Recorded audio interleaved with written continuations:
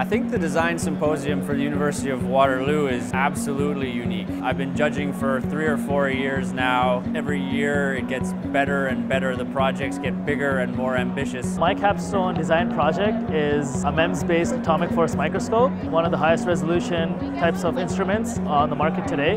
Current AFMs are $100,000 and ours is $1,000. It's kind of limitless on the market that it opens up. Our project is uh, Bread and Butter.